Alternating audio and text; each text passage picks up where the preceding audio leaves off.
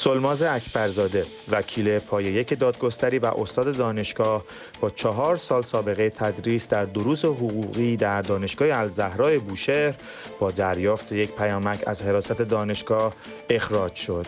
بر اساس گزارش شورای هماهنگی تشکل‌های سنفی فرهنگیان ایران بنا به رویه معمول در این پیامک با تاکید بر محرمانه بودن و بدون ذکر هر گونه دلیل از عبارت قطع همکاری به جای اخراج استفاده شده است.